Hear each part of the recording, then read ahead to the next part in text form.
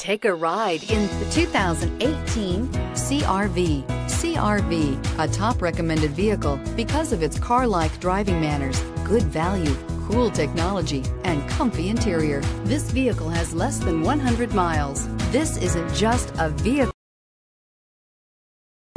it's an experience. So stop in for a test drive today.